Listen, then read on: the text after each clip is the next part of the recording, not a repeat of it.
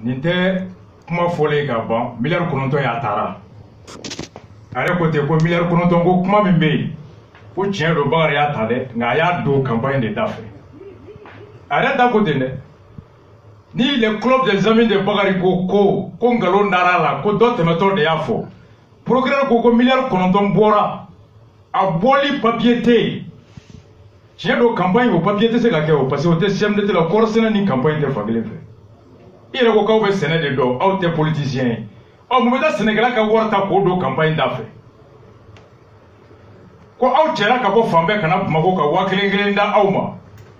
ɔ ko ma don aw ka election na o donna jɔn ka election da fɛ k'a donna i bɛ ka ka kanpaɲi de da fɛ ɔ apekam ye rpm de ye wa rpm de ye bɛn ye i bɛ ka de ko bakari togola ka wari ta wa a ditɔ i bɛ ka ma u bɛnna la wa sariya min ye bakari ta papiye min y'a ta apekam sɛbɛn kɔnɔ a b'a la ko apekam perezan ka perezan fɛn fɛn ka kanpaɲi a ka apekam wari ta k'a don o da fɛ wa irisuruni min bɛ segin ka di ko ka tila sɛnɛkɛlaw cɛ est ce que a fɔra ko irisuruni min bɛ segin ko sɛnɛkɛlaw kelen ta t'a la ko perezan min mana kɛ fanga la o don k'o ka kanpaɲi fana niyɔrɔ b'a la wa ɔ n'a ɲinina bakari fɛ bakari kan ka sɔn a ma wa n'a sɔnna ma o n'a takun bɛ bɛn wa n'a banna a banna takun ma wa ɔ ale yɛrɛ y'a fɔ ko wari taara a donna kanpanye de da fɛ ɔ a ka taa buwaba la u k'a ɲɛnabɔ ye nka buwa yɛrɛ ko ko maliki kana bila f'a dan o y'o yɔrɔ ye donc o tun ye o yɔrɔ ye k'o fɔ an bɛ continuer hali bi kanpanye ko la nka k'a fɔ hali bi komi n tora procureur kasonge k'a fɔ ministre de la justice ye maliki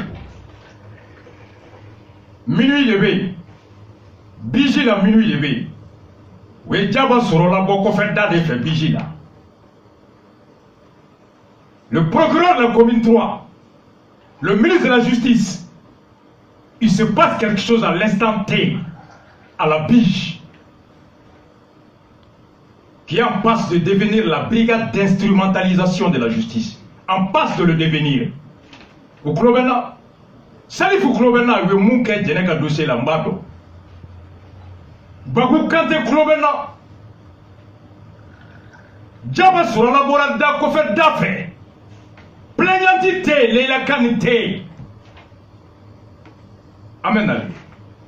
bakari togola ye mun fɔ kanpaɲi kɔnɔ jɔni jɔni a y'a lamɛn population de kan ka jamana dɛmɛ mɛ taɲininaw de bɛ nin bɛɛ gɛlɛyara o tuma premier ministre élection fana banna mɔgɔ si ma gagné mɔgɔ si ma perdu mun bɛ mankanci la balo ɲini don a ye jɔni n'u da n'a ye jɔni n'u da sisan u b'u maa suma ko wɛrɛ tɛ o jɔni sɔrɔ ko don a ye jɔni n'o bɛɛ da élection banna ka ban fo san duuru nin an bɛ yan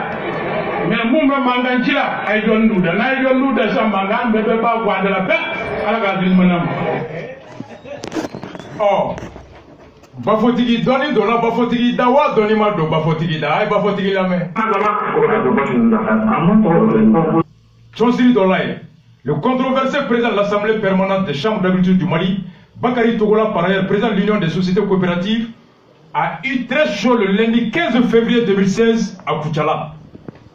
Kokufuka Bakari Togola Jenny. Ou quoi ça fait deux ans Bakari Togola Bi, ce sont lui qui a Mara Tabolo, la Dimi Baka Mara Tabolo Kono, Korsenela fait. Sénégalais ou b'a jalaki ka da ka a ka mandat kura min en 2016 o sɔrɔla cogoya min na ko sariya ma bato kirisi kana fara buguni kɔnɔ sɛnɛkɛlaw wulila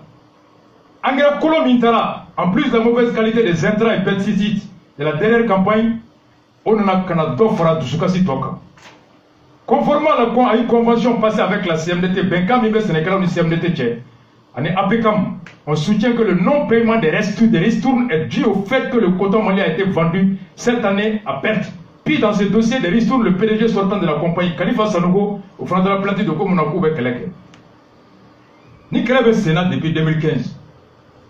ristourni ko kɛlɛ in ka wuli ten donc malik kulibali an y'a fɔ aw ye yan gouvernement sigidon ani procureur kura in kasonge u ye cɛsiri min ta figaro dumali a bɛ se bɔra n'a ye bi yaa avion ko ani sɔrɔsiw ka minan i pare kɛ caman ka lisi bɛ yen k'u kana bɔ bilen jamana kɔnɔ frontière datugulen don ouais des officiers supérieurs u bɛɛ interdilen don ka bɔ jamana kɔnɔ u bɛɛ bɛ ka taa arama sangare ko yɛrɛ tilenna ye tile fila in na pole économique la donc o tile paniki bɛ dugu kɔnɔ paniki bɛ ni ni mun bɛnna a kelen bɛ kelenna kuma la kana ɲininkali kɛ dɛ pole économique ka convocation b'a bolo kasonge a ko le lanceur d'alerte kibaruya jugu mun bɔr'o kalama n'o taara fɔ olu ye kiri ɲuman tɛ jɔ ni jamanadenw ma kiri kɔlɔsi sariya ko quiconque la connaissance d'un fait ou d'une intention criminelle a l'obligation de le porter à la connaissance des autorités poursuivantes maa o maa n'i bɔra kojugu kalama walima ŋaniya jugu n'a bɛ dankari sariya la i wajibiyalen bɛ ka to kibaruya da kiritigɛlaw kojugukɛlaw olu kɛlɛbagaw tulo kan mɔgɔ ka ɲinini fɛnɛ a wajibiya y'i kan de n'i ma taa o kɔrɔ ye sariya sɔsɔ yɔrɔ la an bɛ l'association malienne de lutte contre la corruption u ye plainte dénonciation hakɛ min kɛ banjugu eh, jawara kɛrɛfɛ commune 3 et ena concours la ɲamadu koyita keyita lebora jama la yan ani sɛmsi an fana an kɔrɔkɛ darame bɔra ni révélation minnu ye eh, sambu wage ka fɛ et énergie kulukoro t'a la u taara o fana dénoncer sɔrɔsiw ka avion ko i bɛ ka kɛlɛ k'o fɔ l'association malienne de lutte contre la corruption u ye dénonciation bɛɛ kɛ auprès du procureur de la commune 3 à l'époque banjugu ani vérificateur général o vérificateur min n'an b'a fɛ sisan procureur kura min nana a ko maa o maa n'i ye kibaruya kura mɛn i ka s'a ma a ye communiqué yɛrɛ kɛ kunu tile fila in na appel à témoin k'u bɛ ci bila seere ma comité et cabinet de monsieur le procureur de la république commune 3 ka nin communiqué kalan maliyɛn cɛ a n'a muso mali kɔnɔ mali kɔ kan maa o maa n'i kɛra kojugu seere ye ni sera e le procureur de la commune 3 et code de la république près le tribunal de grande instance de la commune 3 du district de Bamako en charge du pôle économique et financier de Bamako la ni kojugukɛla nɔminɛbaga min bɛ yen ani samana nafolo suɲɛbagaw olu nominali ni aller bɛ commune 3 kono rappel à l'opinion publique nationale et internationale que les enquêtes sont en cours au niveau de son parquet sur l'affaire dite des avions cloués au sol. ko sɛgɛsɛgɛli dayɛlɛlen bɛ a ka daga yɔrɔ la k'o ka ko min ye k'a fɔ ko avion dalen bɛ u disi kan k'u tɛ ka se k'olu wuli bilen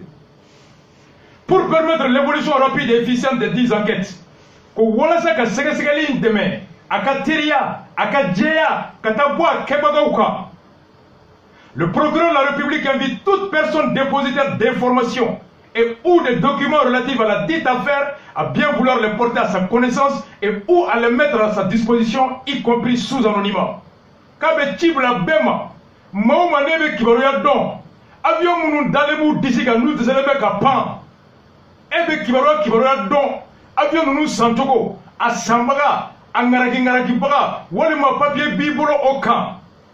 i ka se a ma i ka to kibaruya fɔ a ye walima ka to kojugu dalilu d'a ma u bɛ layidu d'i ma i tɔgɔ bɛ dogo a tɛ dɔn ko e don la même demande est formulée concernant toutes les autres enquêtes en cours laɲini kelen in sɛmɛnen bɛ bɛɛ la ka tɛmɛ ni sɛgɛsɛgɛli fɛn fɛn dayɛlɛlen bɛ u bara kojugu fɛn fɛn kan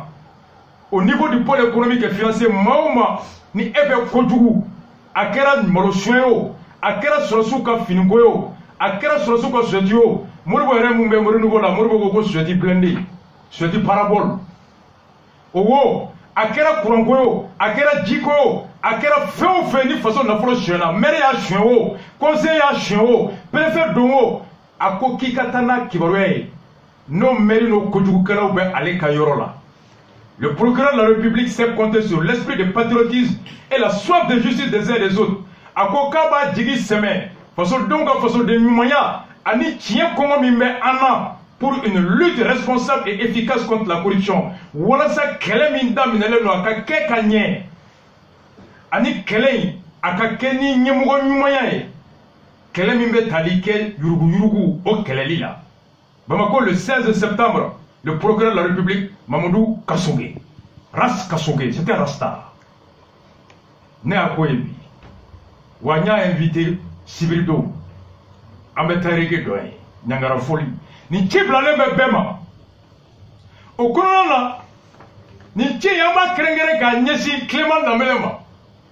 ani mamadu sisi kulibali mitin caman kɛra interview caman kɛra nka hali bi ko k'a fɔ aw ye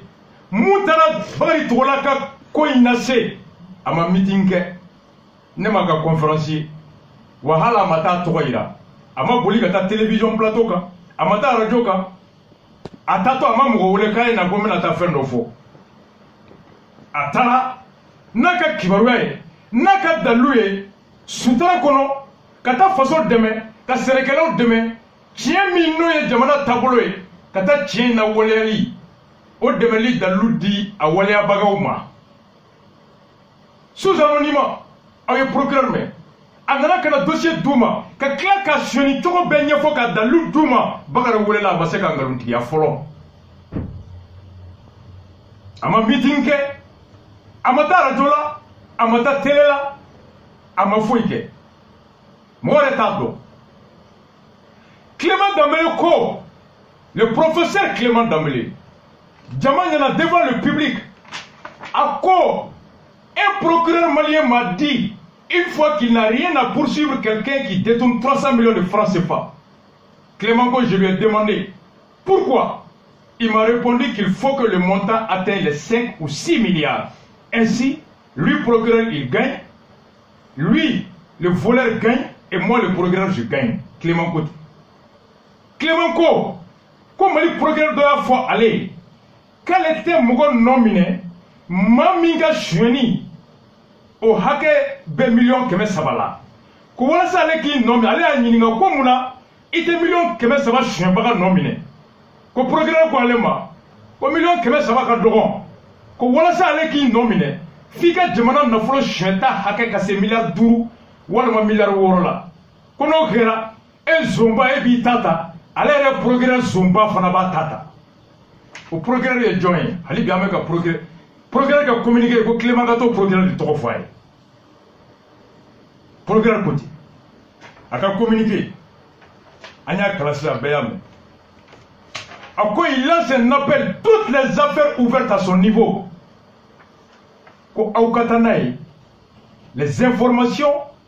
ou des documents ɔ clément ko clément ka taa nin procureur tɔgɔ de fɔ kasonge l'association malienne des procureurs poursuivants clément ko ko dɔ bɛ aw tu la o ko k'a tɛ miliyɔn saba kɛmɛ saba suɲɛ zo minɛ ɔ clément ko k'ale bɛ ka yuruguyurugu kɛlɛ ɛ zo kɔdogobaga e b'o tigi dɔn tilema bɛ ka makɔnɔ mamadu sinsi kulibali o fana ko juma masimalo kalo tile tan ni duuru a ko ko fonctionnaire ba kelen ni kɛmɛ wɔɔrɔ de tɔgɔ b'ale bolo minnu ye zon ye ko nka o fonctionnaire ba kelen ni kɔ la o fonctionnaire kɛmɛ fila bɛ yen k'olu ye zon zon wanɛw de ye wanɛ ɔ ko ale bɛ fɔlɔ de tɔgɔ fɔ k'o ye tabili ye ɔ mɔdu sisi kulibali k'i fana ka taa n'i ka zonbaw tɔgɔ ye mitin caman kɛra dɛ jama taara tribinali da la mitin kɛra place kan na mitin kɛra kati tilema yɛrɛ bɛ arajo bɛɛ kan a bɛ televiziyɔn bɛɛ kan k'a ka taa ni zon lisi tɔgɔ ye kɛmɛ ni miliyɔn le desan ni tɔgɔ ɲini tɛ sinɔ mun taara n'a ye a taatɔ ma tele wele a ma arajo wele a ma taa foyi la a y'i dɔgɔ ka taa dalilu bɛɛ di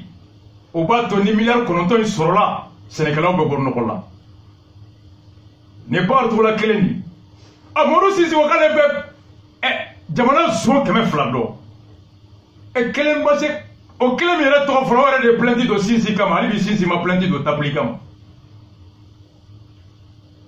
ɔ tilema ko k'ale fana ye procureur dɔ dɔn ɔ tilema o procureur tɔgɔ bɛ di sinon meeting caman kɛra dɛ on attend la liste le nom de ce procureur est la liste donc nin tun ye o yɔrɔ ye k'o